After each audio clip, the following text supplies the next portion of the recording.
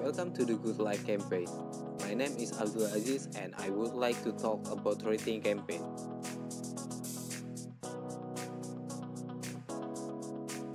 New study found microplastic in more than 90% sample from the world's most popular bottled water brand. Out of 259 bottles, only 17 bottles that were plastic-free.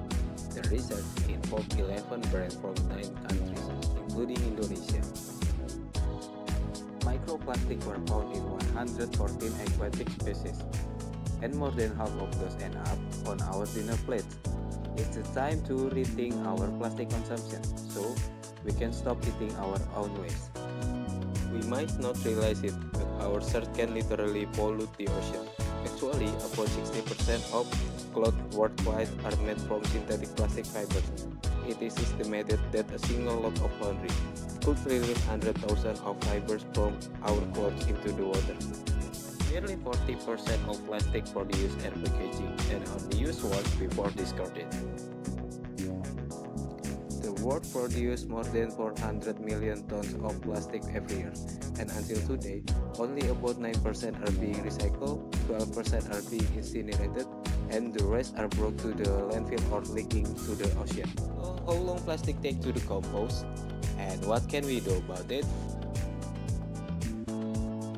Close the tap of plastic pollution by cutting the use of single-use items, over packaging and top litter products.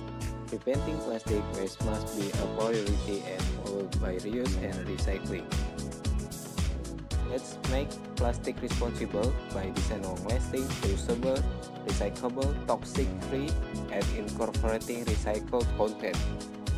Ensure a responsible local management of plastic waste by empowering producer retailers and municipalities to achieve maximum collection and safe recycling while avoiding leakage into the environment. Every little act we do affects our earth. We have the power to create better earth or destroy it with our consumption. And right now is the only time we have to rethink and decide.